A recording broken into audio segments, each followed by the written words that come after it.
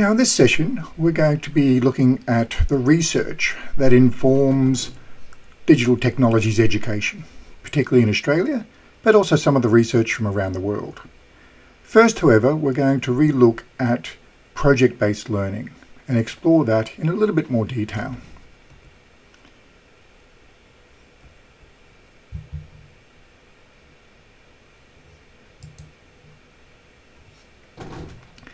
Now, project-based learning is embedded within the Australian curriculum, digital technologies subject.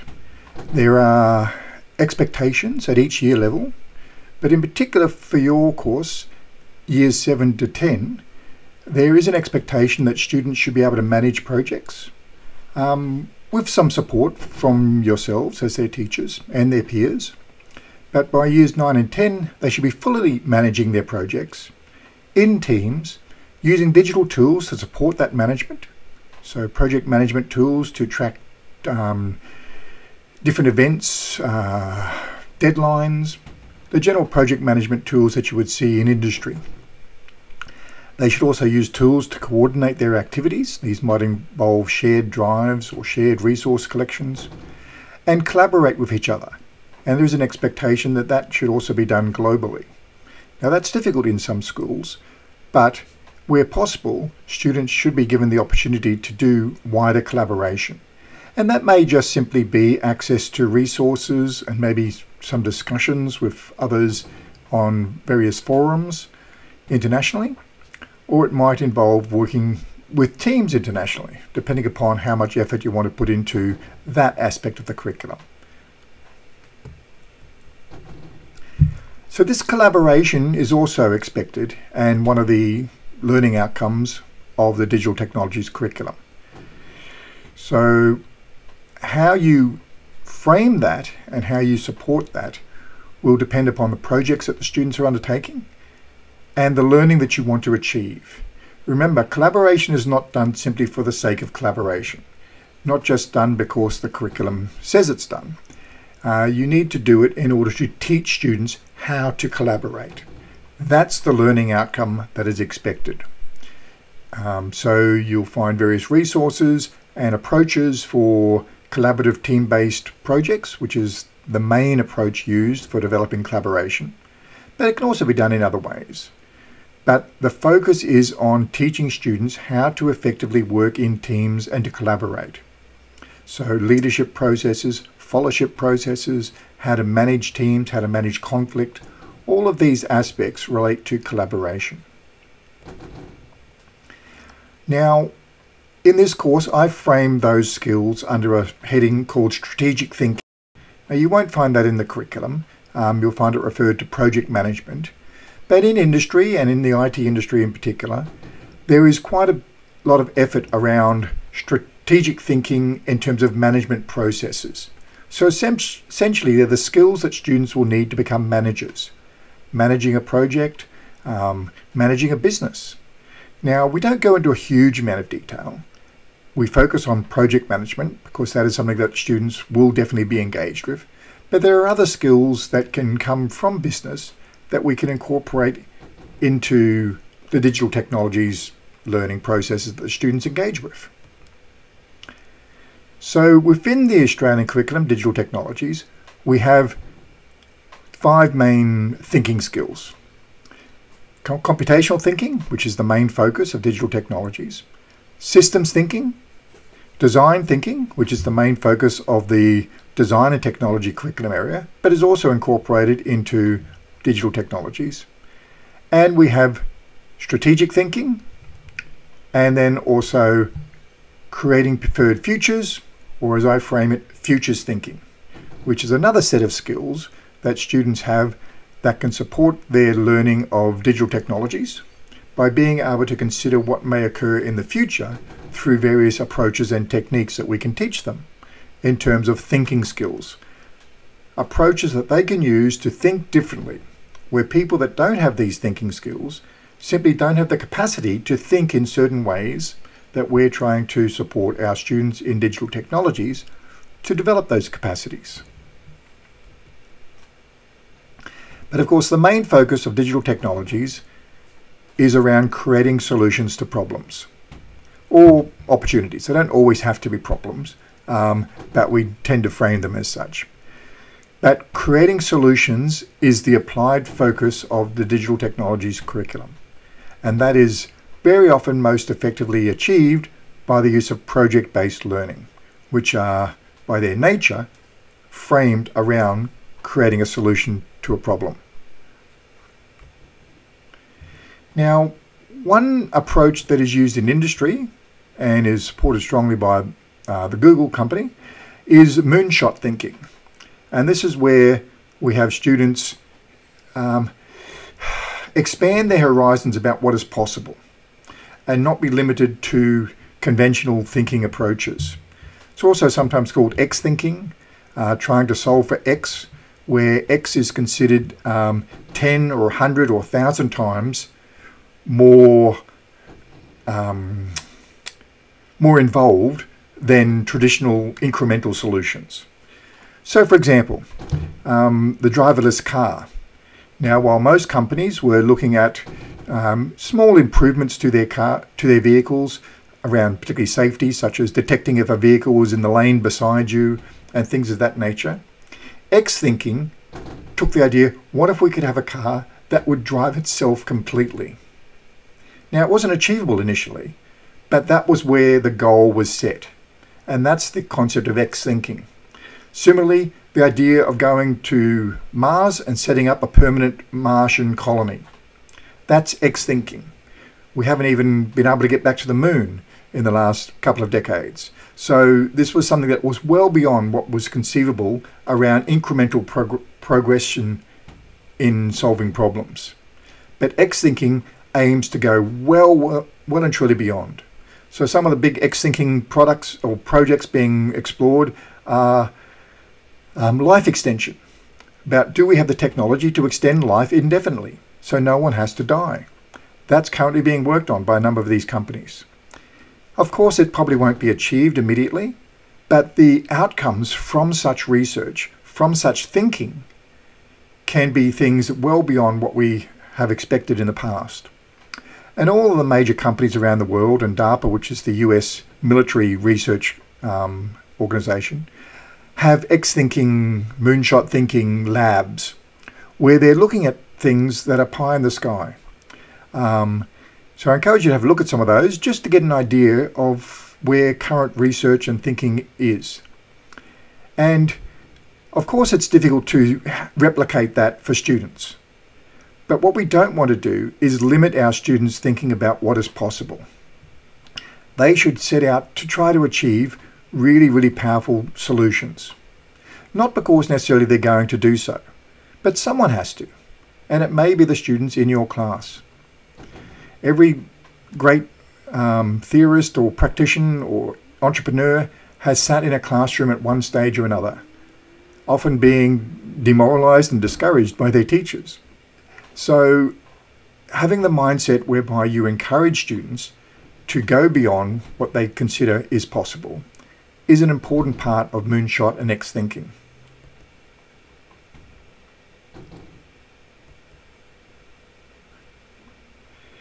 Now, this leads into another general capability, which is creativity. And we want to try to foster students' creative processes. And that's really difficult in schools. Indeed, there's a fair amount of research showing that we actually stifle creativity in our schooling systems um, through our conformity expectations and through the expectations around assessment, which tend to penalise uh, risk taking. And risk taking is an essential component of creativity. To be creative, you have to take risks and go beyond what the norm is and beyond what current expectations are and we don't do that well at all in schools.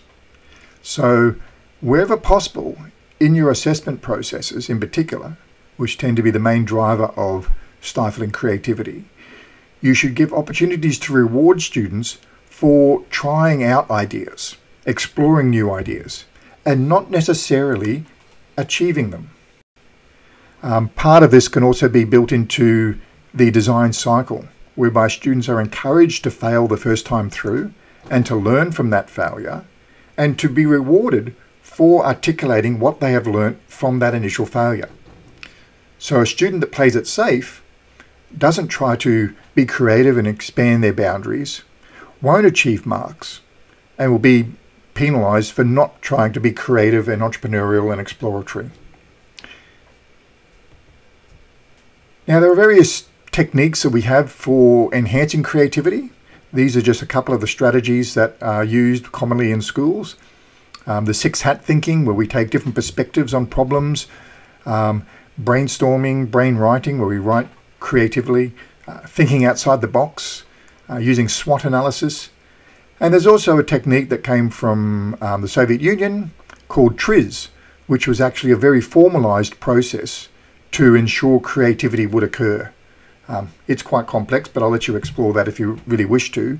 Um, but these are all approaches that we can use in schools to encourage creativity. And we shouldn't see creativity simply as an inherent ability. It is something that can be taught and developed.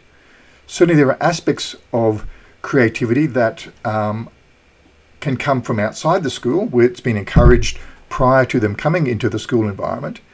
But within school, we have a responsibility to actually support student creative thinking and to develop that. And this leads into an area called entrepreneurship. And it's again an area that we don't support well within um, the curriculum. Entrepreneurial thinking is quite different to normal thinking. Someone who has an entrepreneurial thinking mindset thinks about problems very differently to how everyday people think about problems. Generally, when we think about solving a problem, we think, okay, there's the problem. Now, what do I need to have, or resources do I need to get, or things I need to um, put together in order to solve that problem? Entrepreneurs don't think about problems that way. What they do is they look at what they currently have, the resources they have, the access to human capital that they have, their friends, um, ability to hire people, ability to bring people on board into their teams. And then they look at okay, what problems are now solvable with the resources available? And that's quite a different approach. And it's also not an approach we generally encourage in our school system. We tend to frame problems and we tend to frame them around the resources that are limited for the students to have access to them. But we rarely encourage students to go outside of those constraints, seeking assistance from outside. Um, that's often frowned upon. Um, hiring people to assist them in doing their assessment task is definitely frowned upon.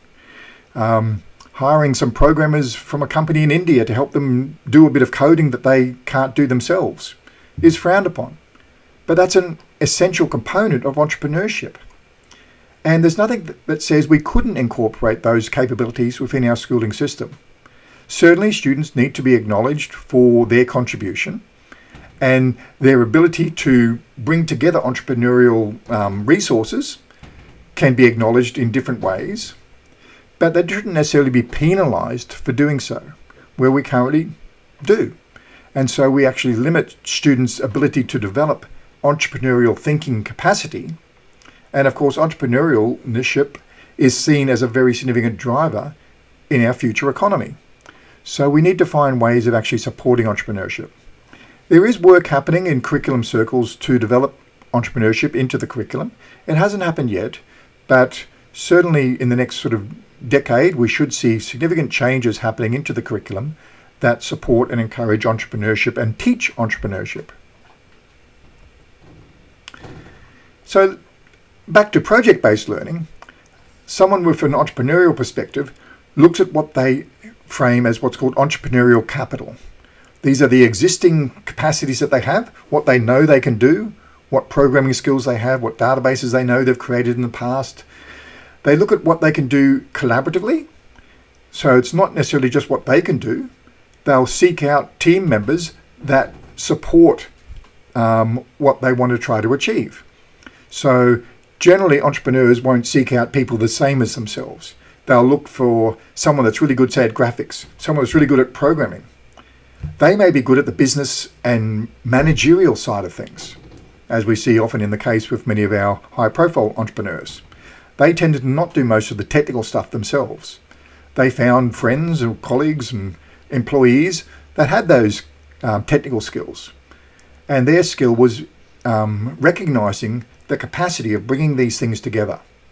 They can also outsource and bring in um, resources that most groups wouldn't think to do so. And they can also, only when those avenues are exhausted, will they consider building new capacity in themselves, learning something new, um, building new um, inherent capacity. Wherever possible, they'll use their existing collaborative and outsourced resources because that's much more efficient and effective.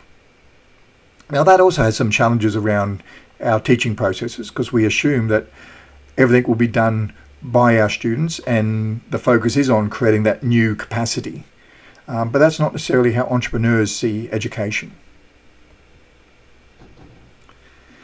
Then we get into an area called futures thinking.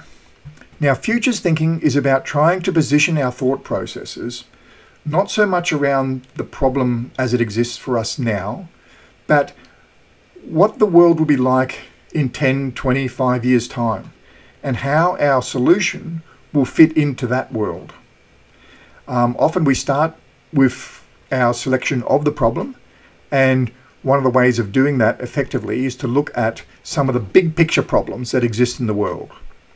Um, things such as clean water, which we know is going to become more and more scarce, the rich and poor gap, the globalization and the convergence of IT around the globe, um, the status of women and how that's changing around the world, or not as much as we would like. Um, energy scarcity, lots of these big picture ideas. Now, it doesn't necessarily mean that the students are going to go out and try to solve these on a global basis, but all of these problems can exist locally as well. Whether or not the girls have full access to being in the local sporting teams or not. Are they have do they have full access in the local computer gaming club? Um, these things can be then addressed at a local level, even though they are global issues. And there are a range of what we call trends that students can explore. Now, these are just a series of different trend sets that have been examined, but a trend is something that's been happening in the past and is likely to continue into the future. And what we do with that is we create forecasts. We start looking at, okay, if these things keep happening, what is the world going to be like into the future?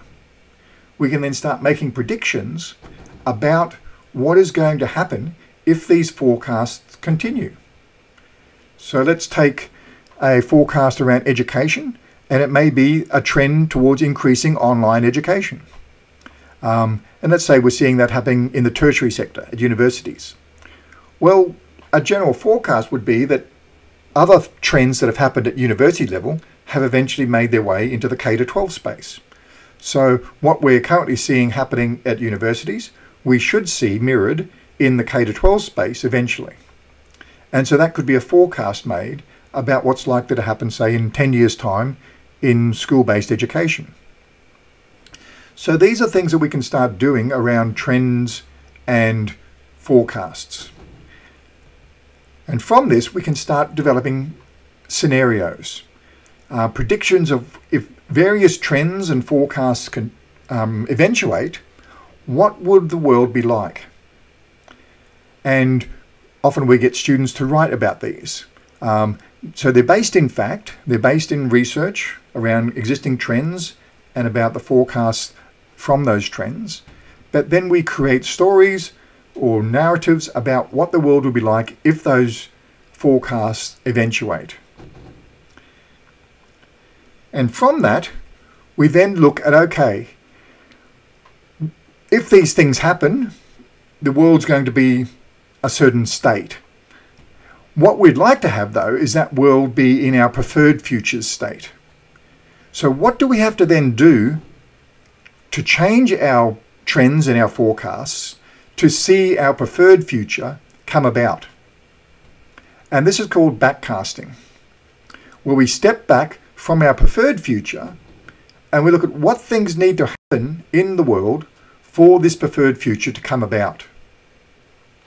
And this starts then giving us some ideas around solutions to um, or problems to solve in order to see that future come about.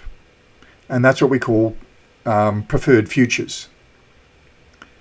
So it's a reasonably complex process, but I've given you some resources on the course website to assist you in learning more about uh, futures thinking and going through some of that processes.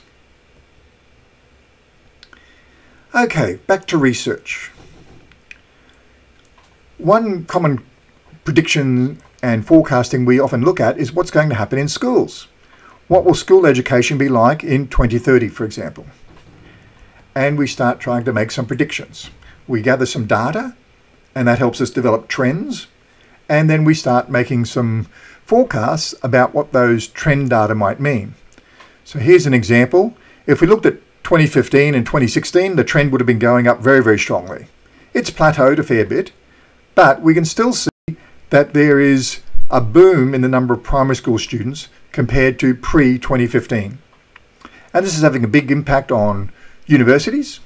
Um, of course, there's a surge of students coming through that are increasing the number of um, university students and also has an impact upon uh, school planning. Need to make sure we have enough schools built to support these population changes and demographical changes and so forth. Um, in Queensland schools, we recently had a surge when we changed from um, uh, um, grade six to grade, or sorry, grade seven being coming part of high school instead of being part of primary school. And that created a, a, a bubble effect of increased number of students in that year level going through and impacting upon universities um, in around 2023 24. So these are things that are happening. There's also demographics around teachers. Um, currently seeing quite a teacher shortage happening globally. Um, and there's a lot of predictions and forecasts being made around the impact of this teacher shortage.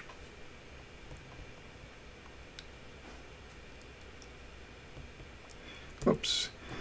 Uh, this just shows a breakdown demographically of where the surges in student population are. And we can see the main surges are going to be in Western Australia, Queensland and New South Wales in particular, and a bit or and in Victoria. But not so much in the Northern Territory, in Tasmania, and in South Australia. So one aspect of trends and predictions is we need to make sure that they're understood enough that they don't give a distorted view. If we just took the overall trend then Tasmanian schools might suddenly see, oh, we have to double the number of schools we have. And that may not necessarily be the case because the data is hiding their trend data in an overall picture if we just look at the data as Australia overall. And this can happen when we look at, in particular at global data, which doesn't necessarily flow through to every nation equally. It also doesn't necessarily in schools flow through to every subject equally. As I said, um, we've got a shortage of teachers, but that shortage isn't necessarily equally distributed. Yes, there's a big shortage of geography and IT computing teachers, but not so much of a shortage in biology and chemistry teachers. So again, just looking at the averages um, wouldn't necessarily give a accurate view of shortages overall.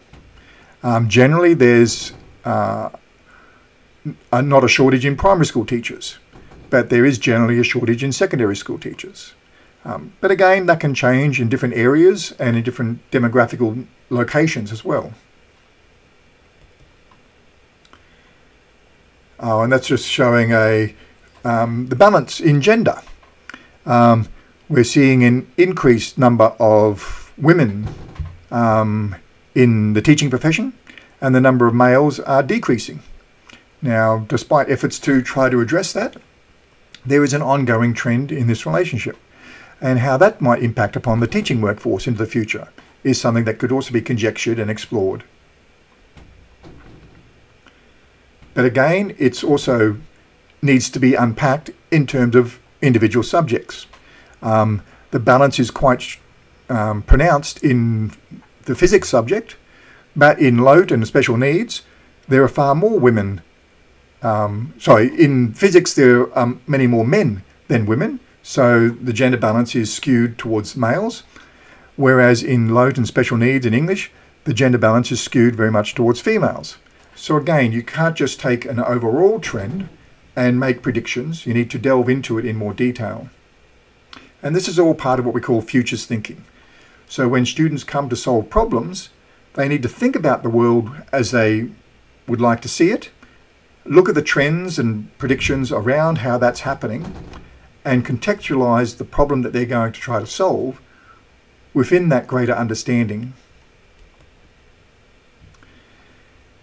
And this then gives us our final, our next thinking, uh, thinking skill, which is systems thinking. Now, systems thinking is, again, something that many people don't have. Um, but those that do can see the world and address problems in a way that those that don't have a systems thinking capability can't. Most people think in terms of event orientated thinking. There are certain causes and effect. Um, a couple of things happen and they result in other things happening. However, systems thinking doesn't look that way. They look at everything being interconnected and how different things impact upon other things in different ways and at different amounts. And it's a much more complex and nuanced interaction. So you can't just say something impacts upon something else.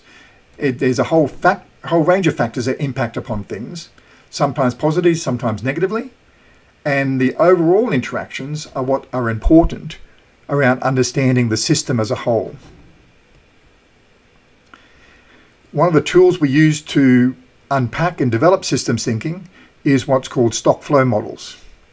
Um, in this case, this is around uh, chickens um, and eggs and crossing roads, building upon the old joke of which came first, the chicken or the egg, or why did the chicken cross the road and so forth.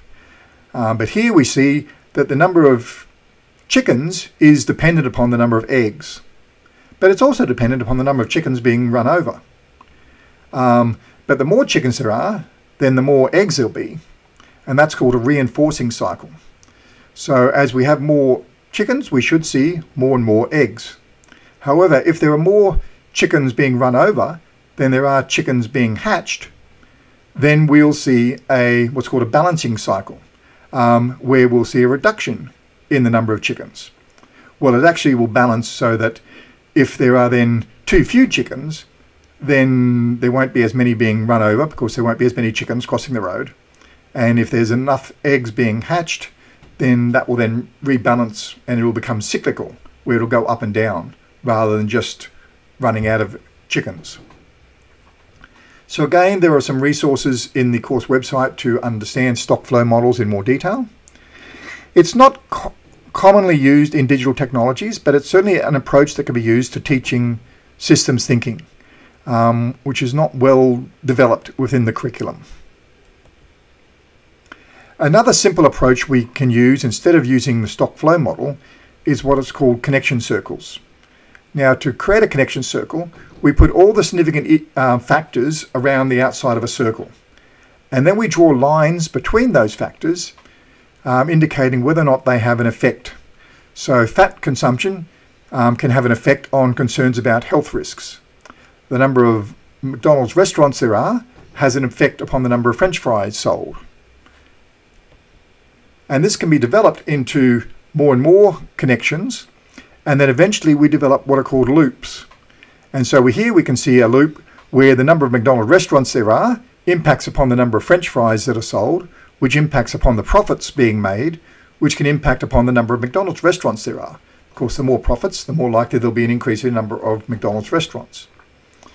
Um, and we can then build out from those circles what are these what are these loops, which are the, similar to the loops we saw in the stock flow diagram where we have in, on the left a reinforcing loop where the more french fries there are, the more profits, the more restaurants, which result in more french fries being sold, and that continues increasing. Whereas on the right-hand side, the, we have a balancing loop where the more french fries that are sold, the more french fries are eaten, but that in, increases the fat consumption, which increases health concerns, which can actually decrease the number of french fries being sold. And so then we can see an oscillating balancing um, loop occurring. And these can be, become quite complex. This is a um, connection circle diagram for a learning system at a university. And we can see various interactions between all the different complex elements. And this can let us into what are called simulations, where we can then simulate a particular environment.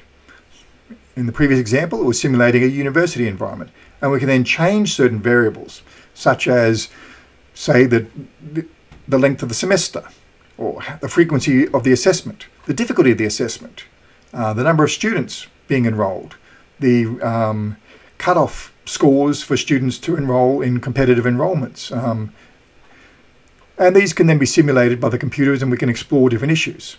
Likewise, in education, there are various simulations that students can get access to and explore the role of simulations in understanding the future. And indeed, they can create their own simulations.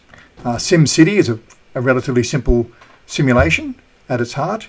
Uh, there's roller coaster simulations, physics simulations, dozens and dozens and dozens of different simulations that can be um, explored, and students can look at creating their own, particularly if they're built upon systems thinking which can make a simulation very interactive and um, and reflecting real life processes in terms of the changes that are made and the impacts they have on the system overall.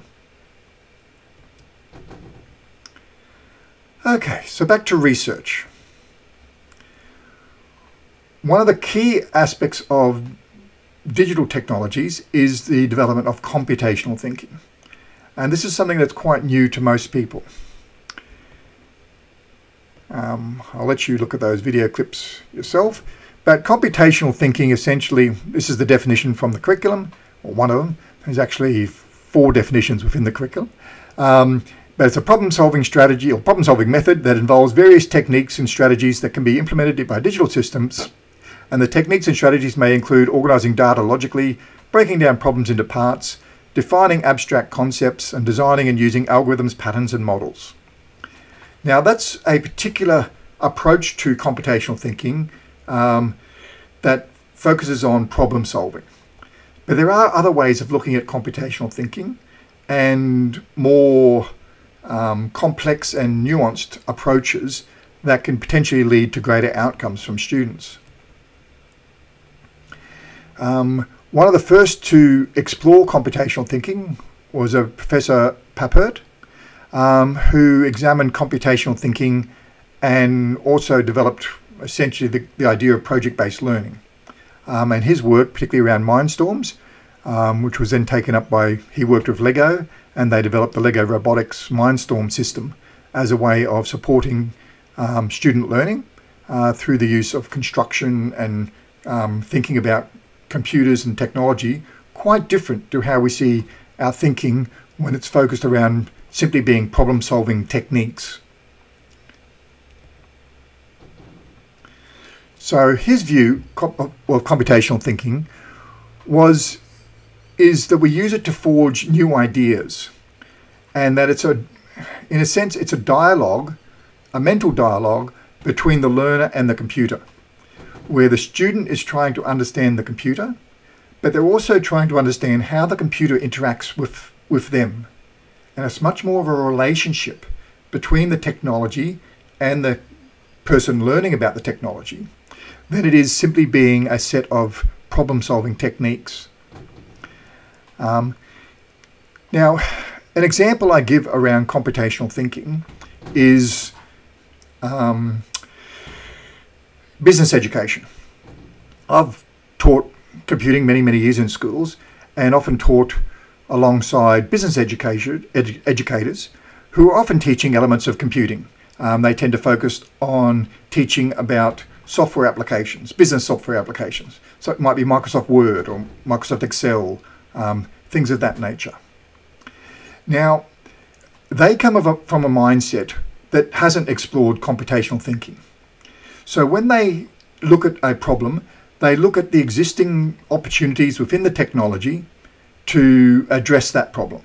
Um, they'll look at the help guides, the menu options, and so forth, and they'll look to see how that problem can be solved with the tool. But they'll have very little understanding of the tool itself. So very often they would have problems with, say, formatting in Microsoft Word. Many people have problems with that. And they can't solve it. They simply don't have the thinking processes to try to address that problem. Um, there's no menu option to solve it. There's no um, simple option in the help guide to address the issue. And so they don't have the capacity to try to come up with a solution to why their formatting is all over the place. However, from my own perspective, when I was at university learning computing, um, one of the tasks we were set was to write a simple word processor, which was simply like HTML, putting tags around things to make things bold and to um, space uh, words out and to tab, put tabs in and things like that. And so at a fundamental level, I understand how the formatting is occurring within a piece of software. Now, I spend nowhere near as much time teaching and understanding Microsoft Word as these teachers. They teach every single option within Microsoft Word and they know it backwards and forwards. Far, far more detail than I possibly ever would want to. But they couldn't solve a simple problem around formatting. Whereas I could come to that problem and immediately see solutions to that and ways to address the formatting, to remove the tags or adjust the tags to address that. Simply because I had a, a much more in-depth understanding of computational processes than they had. And that's an example of computational thinking. What we want to instill in our students an in-depth understanding and familiarity with technology so that they can address and see problems with the technology and solve them because of that capacity. And yes, it involves understanding decomposition and uh, generalization and abstraction and, and these skills, but the skills lead towards the capacity towards computational thinking. They're not the capacity in themselves. It's their familiarity and their confidence and their um, engagement with technology. That's what we want to foster. Backed up by various skills and capacities, but it's much more their attitude around computational thinking than the skill sets that's going to give them the greatest level of success. Um, yes, and so just some other things, some other quotes from Seymour Papert around computational thinking. Um, when we first come uh, we want to encourage students first to use the technology and to be engaged and immersed with the technology. And through that, they then gain an understanding. Um, and it's not that we teach them stuff first. We don't teach them how to do all the different options in Microsoft Word. Or indeed, we don't necessarily teach them all the commands in a programming language. We teach them enough to start engaging with that tool and exploring it, building solutions, slowly adding to that over time, building on their capacity. And one of his sayings was around projects before the problems, where we start a project and we look for the problem as part of the project. We don't start with the problem, which is what problem-based learning is focused on. We start with the project and the part of the project is identifying a problem to solve. And that may be just as an important step in the project and students may learn just as much if not more, from that process than from actually solving the problem.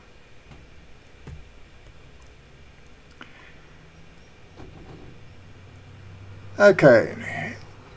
Now the other aspects he looks at is around, um, he was very much around manipulation, where much of the teaching at the time, and indeed now, involves students writing out things on paper and defining it carefully.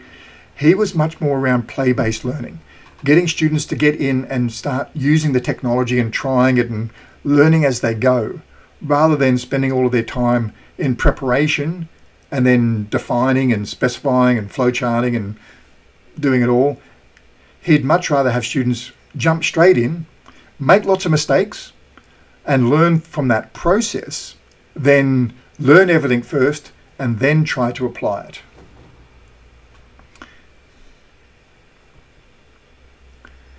Okay, back to the curriculum though.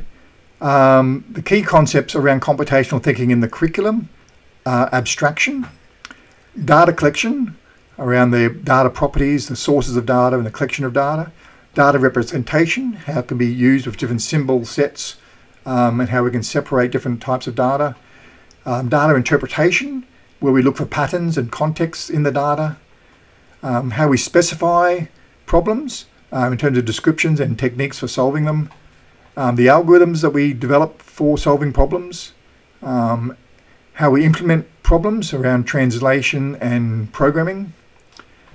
The various digital systems that students will need to use and understand, particularly around software and networks and the internet, and the interaction they have with others and with, with people and with the digital systems themselves.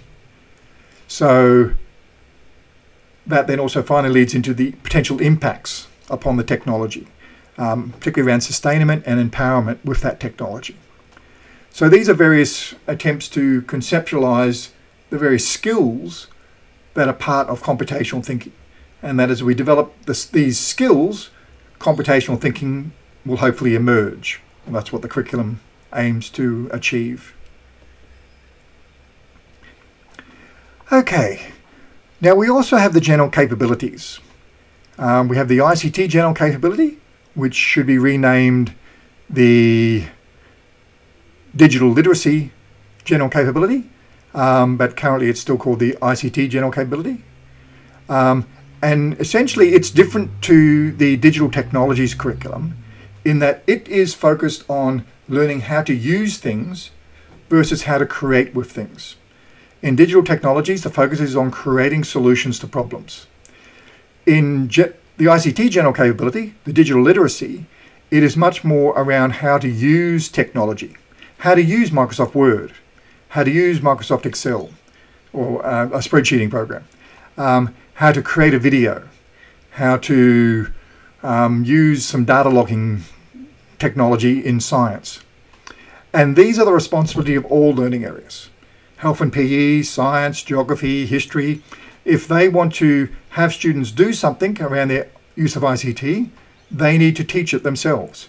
It is not the job of digital technologies to teach students um, ICT general capability capacities.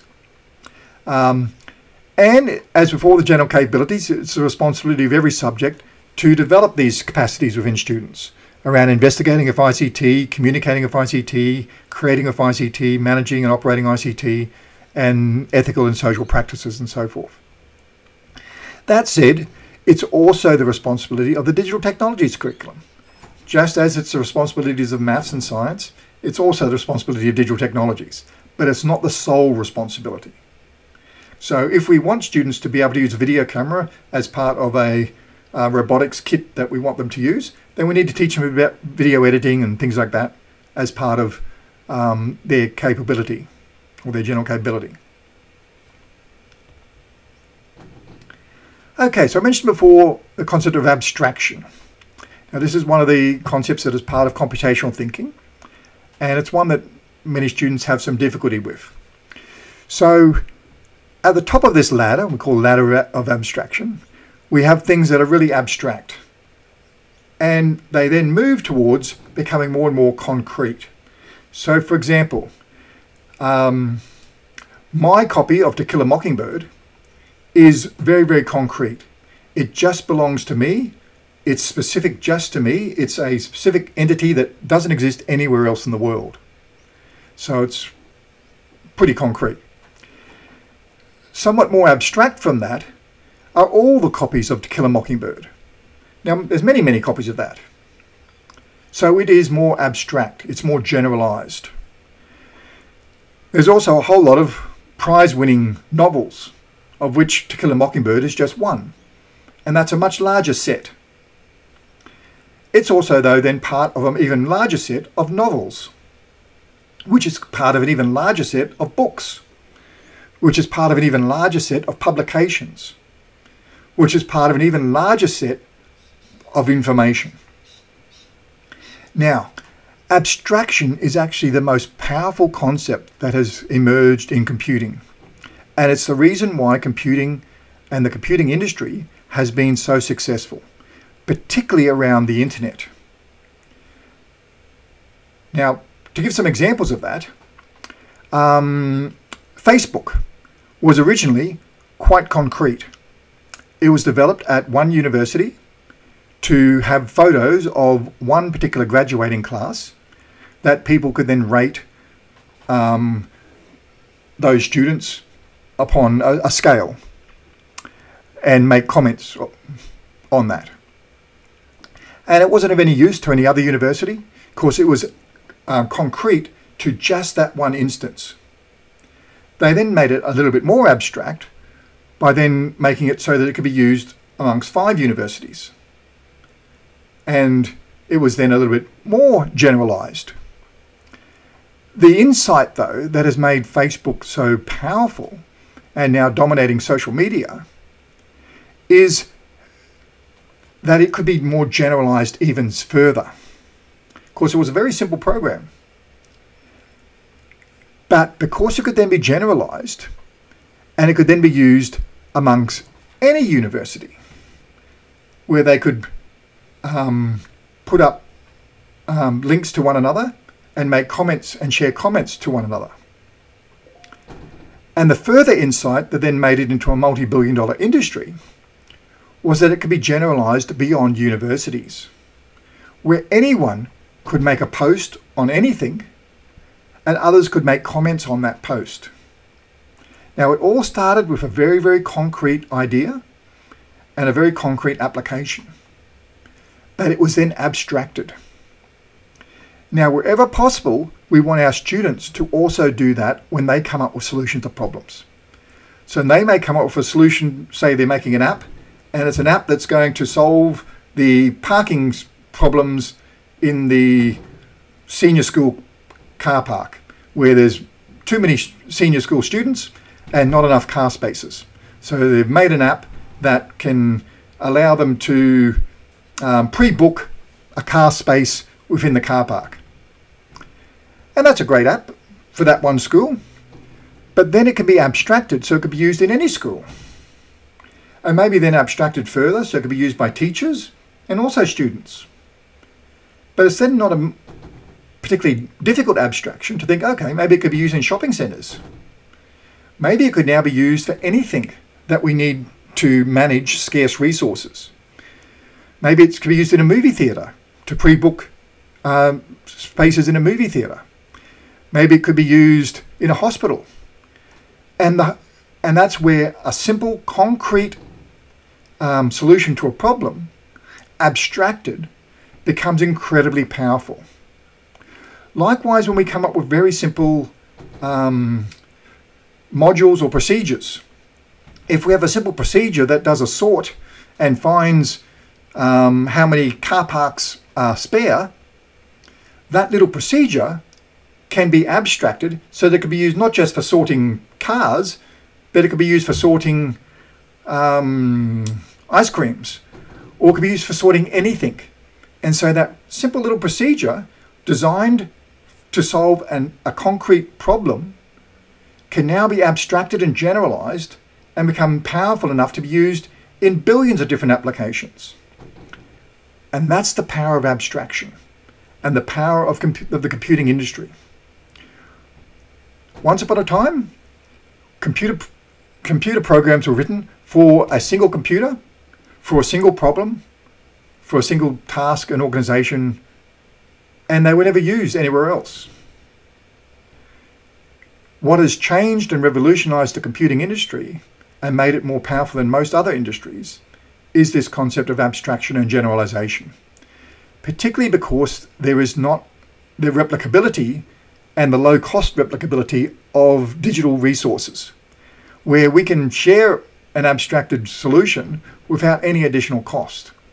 We can make 100,000 copies of our solution uh, that can be applied in different circumstances without any real additional effort or cost. And that's a really big change from how most industries have had to operate. Okay, so that's a bit of an overview of abstraction. And again, there are notes about that.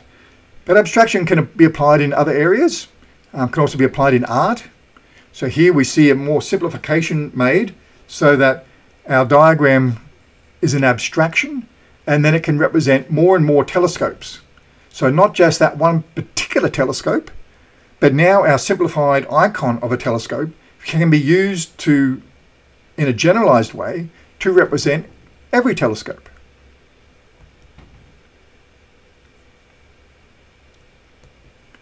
Whoops. Other things that we teach within computing, um, binary is another concept, but binary is another example of abstraction. Well, programming languages are an example of abstraction. Binary is, an, is a, um, a more generalized way of understanding switches. Switches in transistors are either turned on or off, depending upon whether or not they have a current going through them and so forth. Binary is an abstraction of those physical switches. Machine code is an abstraction of binary, of binary commands, where in machine code, instead of having a whole lot of zeros and ones, we have simple text-based commands that represent what those binary um, switches represent. And programming code is generally an abstraction of machine code, where instead of having um, a whole series of machine code um, commands that act upon the physical elements of the computer, we can abstract those into more understandable um, commands. And then we can abstract our, whoops, our text-based commands into graphical commands for our graphical icon-based programming languages, our block-based languages, which are simply using images as abstractions for the text-based commands. So these are again examples of abstraction. But we have other ways of communicating. When we teach about binary, it's a way that our we use to understand how computers um, talk to one another. But there are other languages and other ways of communicating. Semaphore is communication with flags. Very similar to binary, but a little bit more complex.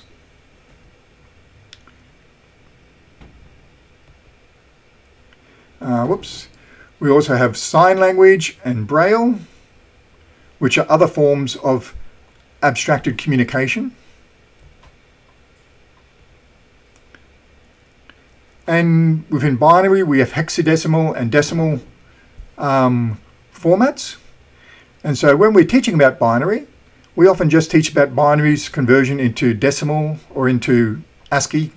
Um, but we can also look at conversion into hexadecimal and other forms of abstracted ways of representing binary numbers. But what we're teaching about is abstraction.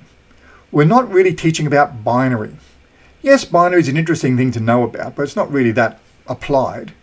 But the concept of abstraction is very applied, and students are going to use that all the time as they develop their capacity around computational thinking. But of course, we can then apply that to images, and bitmaps are simply um, sequences of binary um, that can represent images. In this case, simple emoticons, but they also apply to um, all bitmapped images.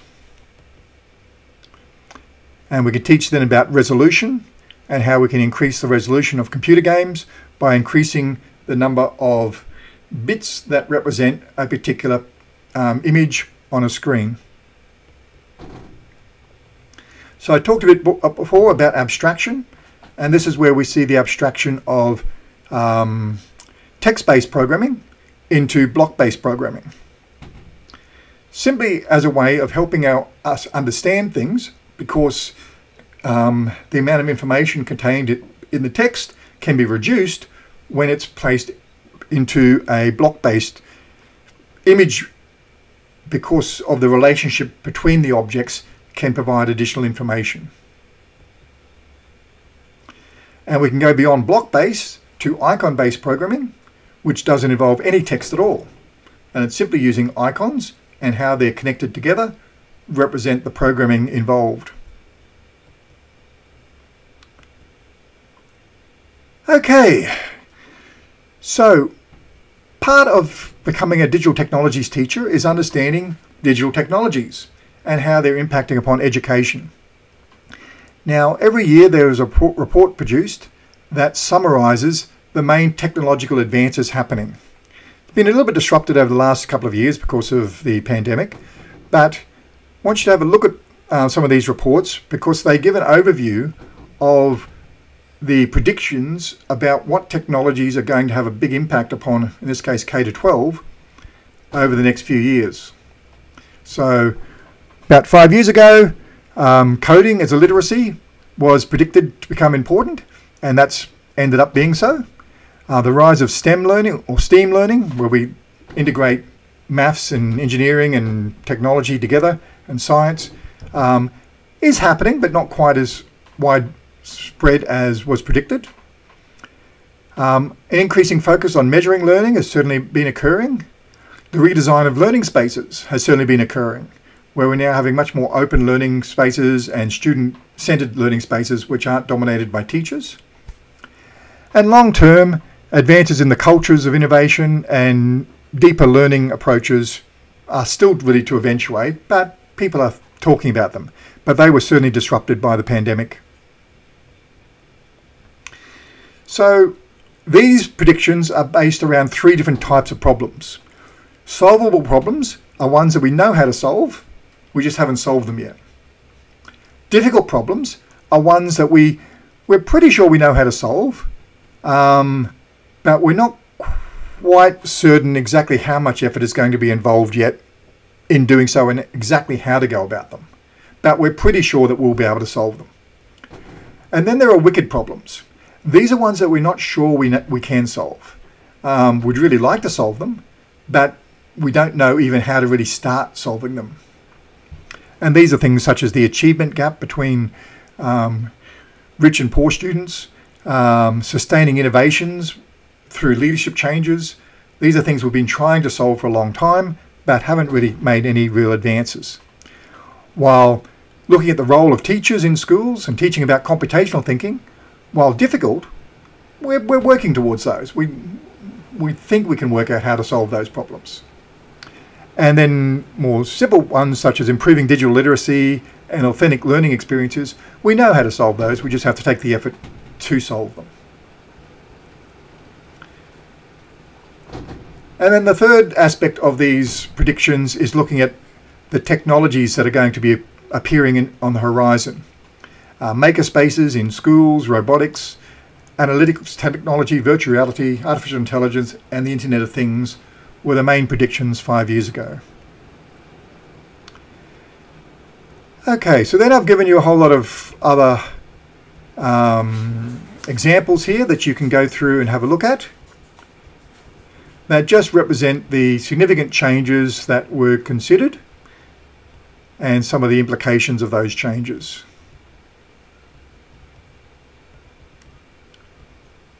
Oops. Okay. Last couple of documents I'd like you to read through before the tutorial. There's some research policy documents which set out the what K to 12, what's happening in K to 12 computer science education um, internationally and within Australia. So it's just just browse through them, but just to get an idea of what's happening with computer education.